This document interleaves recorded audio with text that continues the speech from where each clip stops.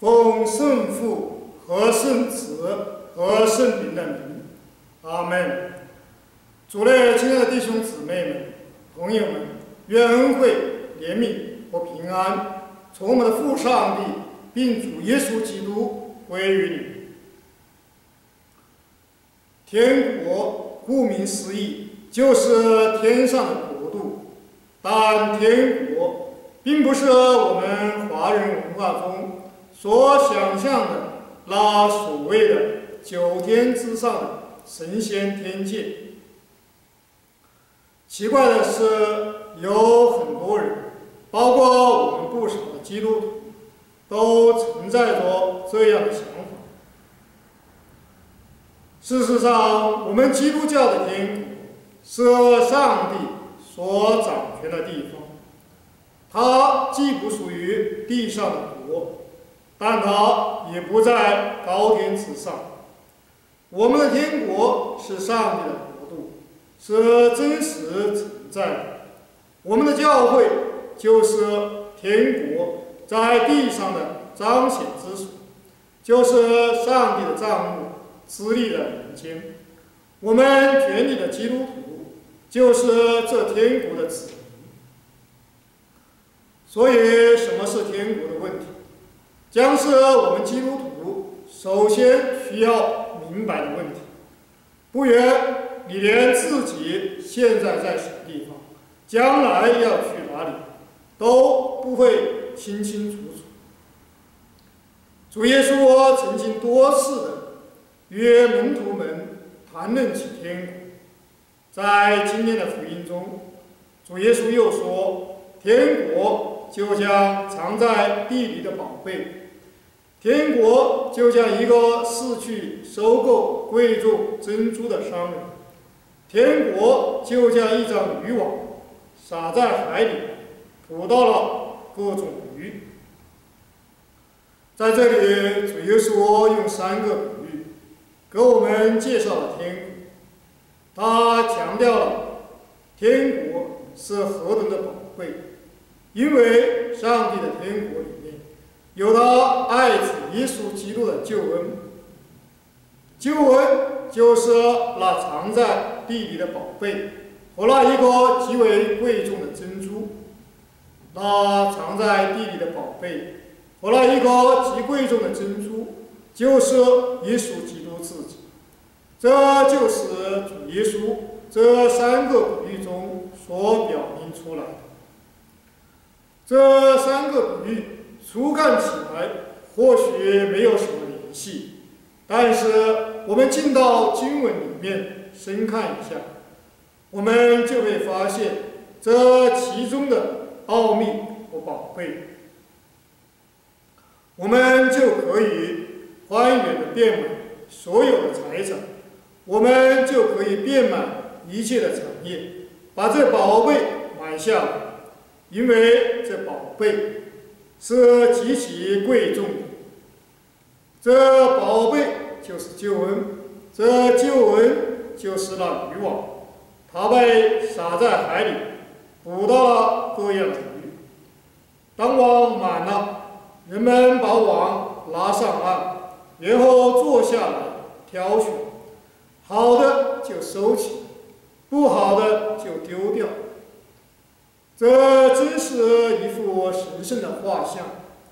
这埋在地下的宝贝和无价的珍珠，就是我们的救主耶稣基督自己。这网就是上帝的律法福音，就是十字架的道理。撒网的人。就是基督，就是替他传道的牧师。水族就是所有有罪的事，好鱼就是那些畏罪忧伤、畏罪悔改、接受基督、被基督的义所遮盖的信徒。我们知道，我们感恩。上帝的道带来了新的生命，上帝的道带来了新的拯救。主耶稣用律法和福音的网去捕鱼，福音的网网住覆盖了所有的罪。当这些罪离开原来的黑暗的环境，被网打了上来，但是正如这些网，这些鱼有好有不好，好的就收起来，不好的就丢掉，并不是说鱼有好坏之分，人有善恶之别。作为我们基督徒，我们都承认，世人都是罪人，你我都是罪人，都是邪恶的。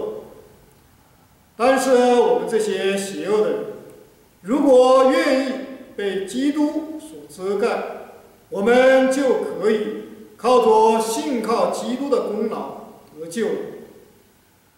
所以，当网撒下去，把罪人、把邪恶的人聚集在一起，其中这些心里愿意、需要基督的义的人，就会被拣选起来，留在天国。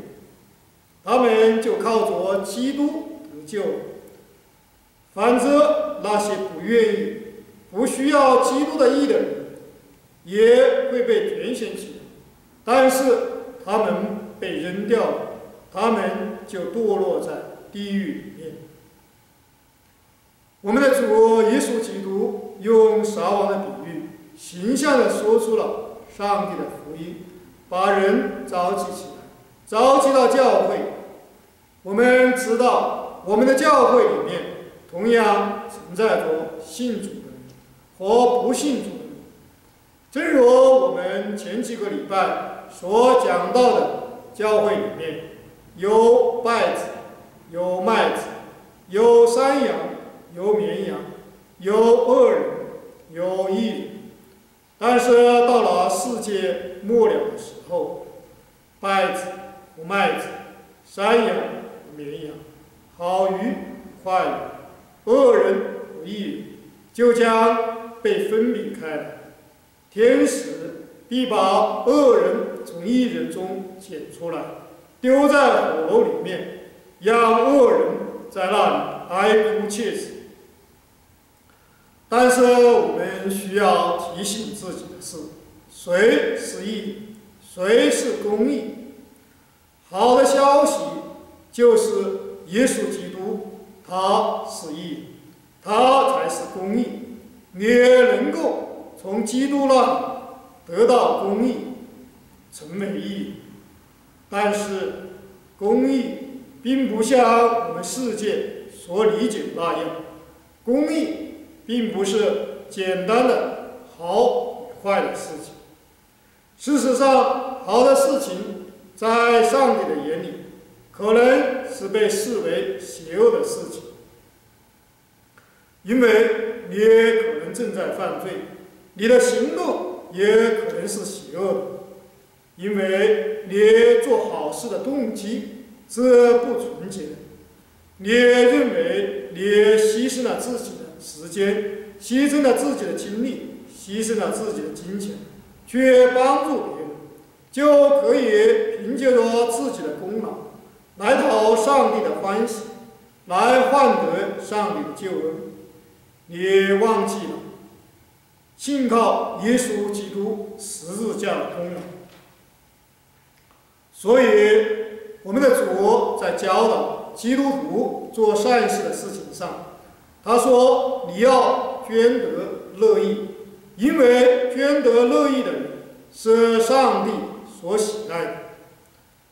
所以，我们基督徒做好人好事，要发自心底，要出于基督的爱，要出于我们基督徒的自愿。